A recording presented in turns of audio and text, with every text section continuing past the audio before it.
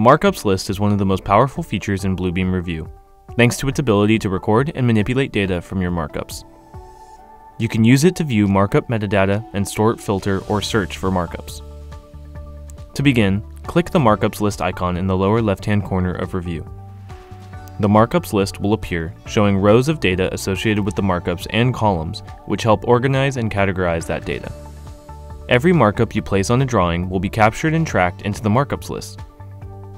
Click on the markup and the row of data will highlight as well as its associated markup on the drawing. The markup list title menu offers three main options. Under columns, you can manage and edit the columns active in the list. In the Markup submenu, you can import markups that others have made or export yours to share. The Capture option allows you to create a summary of your capture media and export it. To filter your markups, click on the filter list and then select the column heading you want to be filtering by. This allows you to filter by criteria like a specific markup subject or filter by author.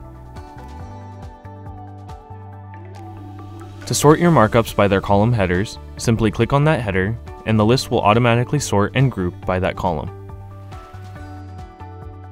The search function at the top of the markups list helps you find data based on your search parameters. If you need to find all cloud markups or all markups with a certain word in them, you can do that here. While only a few columns appear by default in the markups list, there are over 30 data points built into markups. Plus, you can add custom data points by adding new custom columns to the markups list. Manage all of these columns by checking them on or off in the Columns submenu or under Manage Columns. Once you have custom columns set up, you can enter data directly into the list, choose from options, or have them calculated using formulas based on their values.